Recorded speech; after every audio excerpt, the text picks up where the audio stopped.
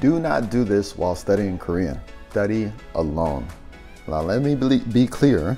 I'm not saying don't make any time whatsoever for individual study. Individual study is good, but make sure that you have a study partner or partners or even a community, a group of people that you are studying with. Because otherwise, there are three very important things that will become a detriment to you. The first thing is that you will not be able to learn from their mistakes. You can't make all the mistakes, right?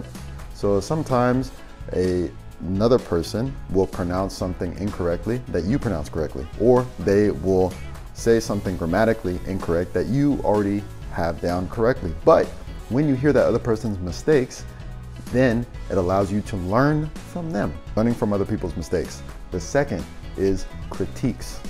Critiques. You must have other people around you who will critique your Korean. Was this pronounced correctly? Did you say this word correctly? Did you use the word itself incorrectly? Or did you spell this wrong? Did you spell this right? Whatever the case, you need other people to be able to critique you and to serve as your mirror to see things that you yourself cannot see. The third thing is accountability.